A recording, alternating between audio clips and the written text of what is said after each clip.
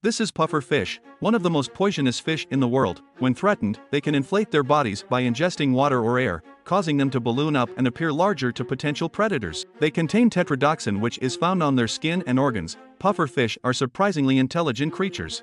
They possess the ability to use tools, such as shells or corals, to create shelters.